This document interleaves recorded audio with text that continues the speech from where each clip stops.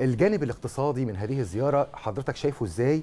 في نشاط مكثف جدا للسيد الرئيس لقاءات مع يعني رؤساء للشركات الصينية في تنامي كبير جدا لحجم الاستثمارات الصينية في مصر تحديدا طبعا في المنطقة الاقتصادية بقناة السويس وغيرها من المناطق. الزاوية الاقتصادية شايفها إزاي؟ خلينا في الزاوية الاقتصادية نبدأها بس بحاجة بسيطة كده هي إيه الصين؟ يعني الصين أكبر ثالث دولة على مستوى المساحة. أكبر دولة على مستوى تعداد السكان بنتكلم عن تريليون 450 مليار نسمة. 1000 مليار. أكبر أكبر ما هو تريليون. أكبر الدولة في التبادل التجاري على مستوى العالم. بنتكلم في حدود 6 تريليون 6 و6 من عشرة تريليون. يعني بنتكلم في 3.5 تريليون صادرات 2.5 تريليون واردات. تريليون. فالعلاقة مع دولة كبيرة زي دي برضو ما لسه ما ابتديش من دلوقتي. فخامة الرئيس زار الصين 2014 وزارها في سنة 2019 وتمت زيارة الرئيس الصيني هنا في مصر في 2016 بالإضافة للزيارة اللي تمت من خلال الأيام اللي فاتت دي. كل هذه الزيارات كان محورها شراكة استراتيجية في مجال الاقتصاد. إيه اللي خدته مصر خلال الفترة الأخيرة؟ يمكن نتذكر بس في الإصلاح الهيكلي للاقتصاد اللي تم من 2000 ابتدى في 2016 كان عملنا اتفاقية تبادل للعملات مع الصين. كانت تعادل حوالي 3 مليار دولار في وقت كنا محتاجينها وقت التعويم الأولاني بتاعنا. عملنا مشروعات للبنية التحتية مع الصين ويمكن ده الفكر اللي تبناه فخامة الرئيس في إن إحنا إذا كان حجم التبادل التجاري بيننا وبين الصين قرابة ال 14 مليار دولار. بس طبعا 12 و9 من عشرة منهم لصالح الصين واردات وحوالي مليار دولار صادرات مصر للصين.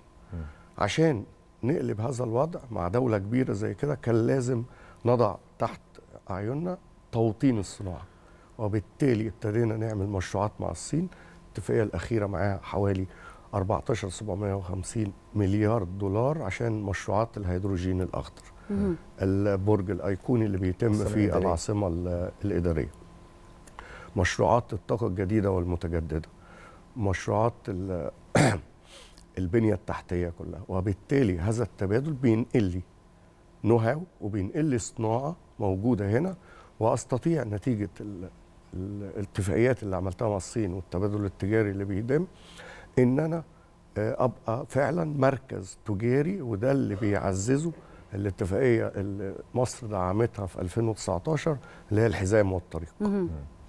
طيب بالحديث يا فندم عن هذه المبادرة لو حضرتك نستغل وجود حضرتك معانا ونشرح للسادة المشاهدين هذه المبادرة مبادرة الحزام والطريق وأيضا مدى جدوتها بالنسبة أو مدى جدواها بالنسبة لمصر. الحزام والطريق هو حلم صيني.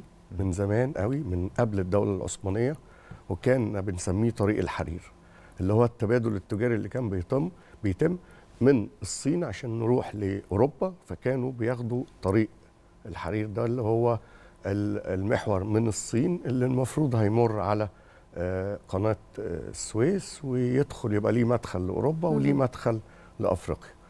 التبادل التجاري ده الحزام والطريق جاي من امتداد من الصين لغاية كان نفسهم يوصلوا طريق لغاية لندن والجزء البحري اللي هو هيمر بقناة السويس عندنا ويبقى ليه مدخل لأفريقيا أو لأوروبا بحريا وبالتالي هذه الخريطة أو الخطة الصينية بتدعم بقى من خلالها إيه اللي هنستفاده إحنا مصر؟